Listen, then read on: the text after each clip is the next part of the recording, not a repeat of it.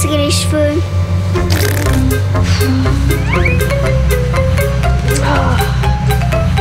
Bloop, t'es pas drôle. Ça suffit, Bloop. Tu déranges tout le monde et tu me distrais.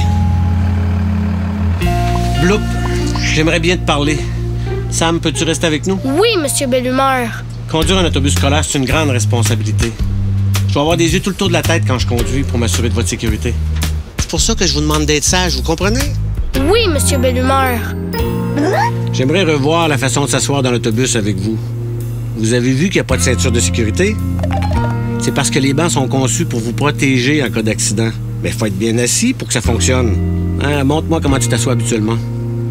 Est-ce que Bloop est assis de façon sécuritaire? Non, on s'assoit complètement sur le banc.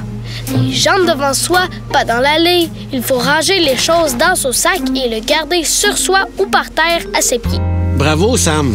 En t'assoyant comme ça, tu seras en sécurité en cas d'accident. Parce que ton bain et celui d'en avant forment un compartiment qui te protège. C'est bien pensé, hein? Oui, Vous pouvez y aller maintenant. Vous pouvez vous fier aux conducteurs d'autobus scolaires. Ils sont recrutés avec soin. Ils ont obtenu le permis de conduire approprié. Ils ont suivi une formation obligatoire menant au certificat pour conducteurs et conductrices d'autobus scolaires, renouvelable aux trois ans.